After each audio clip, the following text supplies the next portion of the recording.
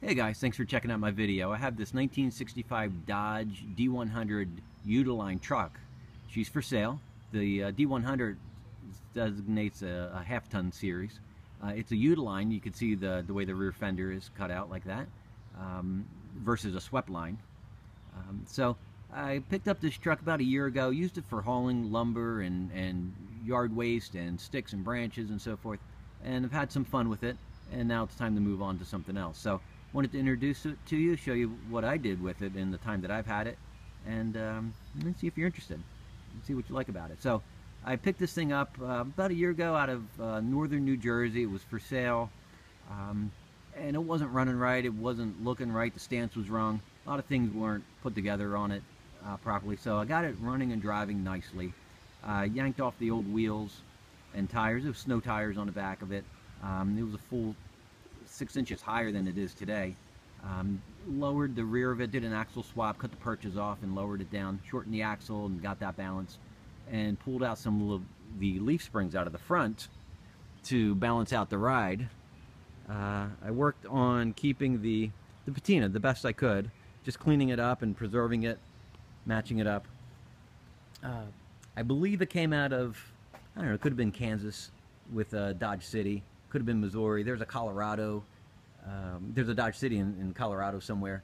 Uh, but I wanted to keep the look as much as possible and just clean up the stance and, uh, and make it a nice driving vehicle. So I think I got that uh, while preserving it the best I could. So you can see it's pretty clean,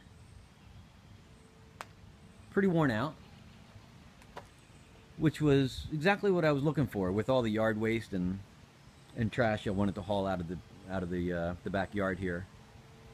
I cleaned up the wheels, stripped them down, painted everything a cream. I wanted to match the roof the best I could, and I put the white walls on as well. I wanted to match the color of the roof and use that as a as a contrast to the red on everything. So. Um, stripped down the bumper, the grill, the mirrors, cleaned up the inside a little bit, recovered the seat, repadded the seat. There was a whole bunch of auxiliary gauges on here. I yanked those out, got the dash gauges working. And, you know, it's just a nice driving truck now. Uh, brakes are top notch. Is one of the first things I did with the, uh, was uh, I saw the rear axle seals were leaking. So yanked out the rear differential, pulled out the axles, replaced the seals, replaced everything in the brake system from the master cylinder uh, down to the shoes, the hardware, uh, the hoses, even the hard lines are new. Uh, everything is is 100% on the brake system. The clutch is strong and firm. It operates at the top of the travel. Shifts tight and smooth. Um, no play at all in the shifter. It's just a nice, easy driving truck that's dependable and starts every time. Uh, the engine is a slant six, has about 70,000 miles on it, 71, which I think are original.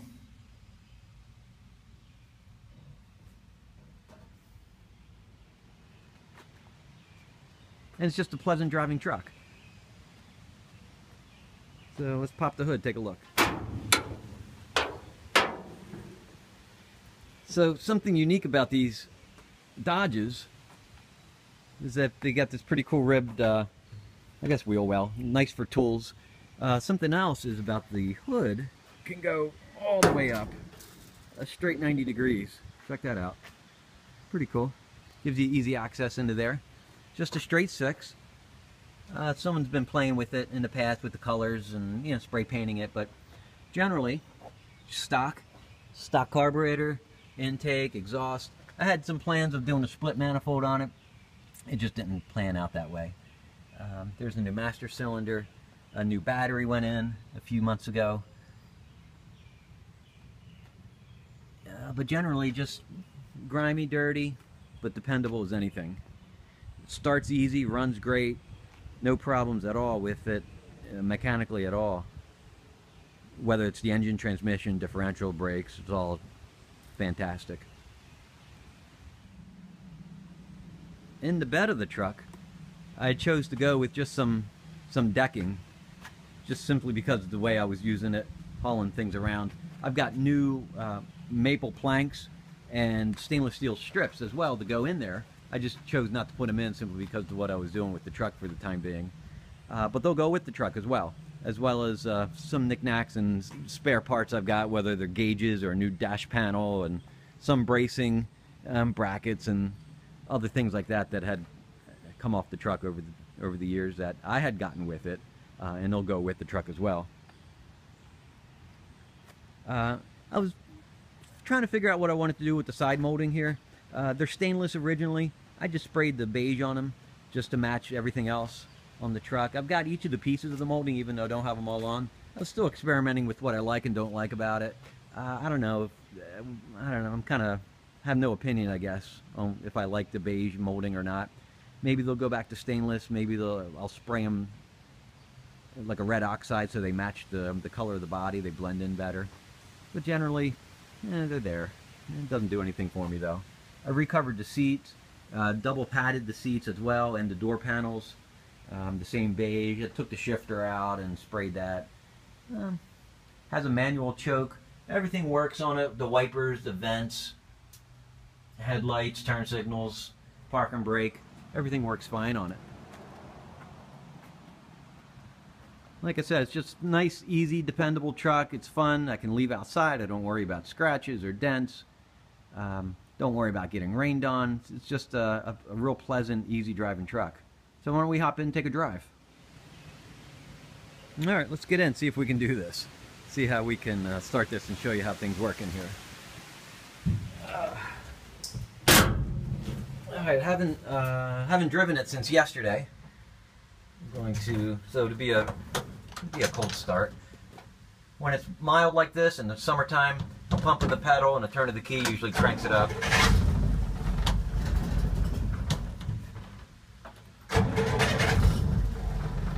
starts pretty easy and that's pretty consistent. That's normal for it. In the wintertime, you pull the uh, you pull the choke, pull the choke out and give it a crank and she fires right up.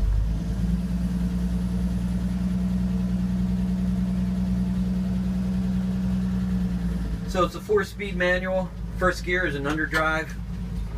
Goes into first pretty easily. Second and third and fourth. You can see it's not a lot of play at all in the shifter. That's neutral. And then reverse is over and down for reverse. With the rear axle uh, being a 410, first gear being an underdrive is so slow. You're not getting very far, but you can pull a house with this thing. Uh, we'll roll through the gears and and show you how this works.